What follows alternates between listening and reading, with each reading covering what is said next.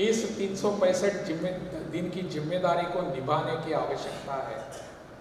आप सब सुबुद्ध हैं, विचार करने वाले हैं।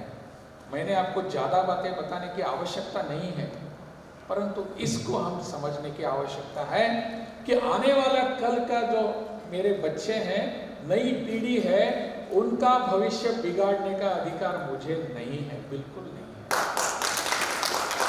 और इसके लिए मुझे आज प्रयास करने पड़ेंगे, कल नहीं, आज। और वो आज हमारे हाथ में है। हम कर सकते हैं हमारे बच्चों के और इस देश के भविष्य के लिए। हम सब जानते हैं, आप सब जानते हैं कि शिक्षा का अर्थ यह होता है व्यक्ति निर्माण। और शिक्षा अगर व्यक्ति निर्माण नहीं करती तो शिक्षा की आवश्यकता नहीं है। और उसी व्यक्ति निर्माण से राष्ट्र निर्माण होता है। हम पूरा देश हमारा विकसित दिखना चाहते हैं तो उस व्यक्ति निर्माण की आवश्यकता है। और उस व्यक्ति निर्माण के लिए शिक्षा की आवश्यकता है। अच्छी ढंग की शिक्षा की आवश्यकता है। तब जाकर हमारा राष्ट्र निर्माण हो जाएगा। आने वाला समय हमारा समय है।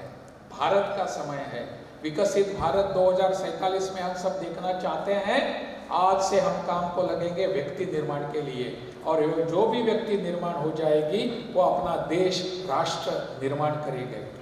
मुझे पता नहीं है कि दो के उस दिन उस दिन को मैं देख पाऊँगा या नहीं। मुझे पता नहीं है। मुझे इसकी चिंता भी नहीं है।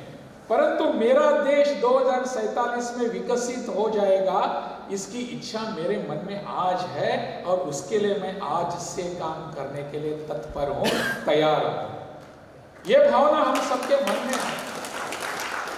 शिक्षा का अर्थ यही है और कुछ नहीं है। व्यक्ति का निर्माण, समाज का निर्माण, राष्ट्र का निर्माण। आप सभी इस बैठक में आ गए।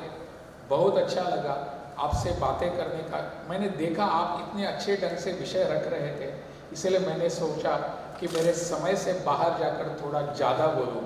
अगर इसके लिए आप क्षमा करना चाहेंगे तो ज़रूर कर दीजिए। बहुत बहुत धन्यवाद।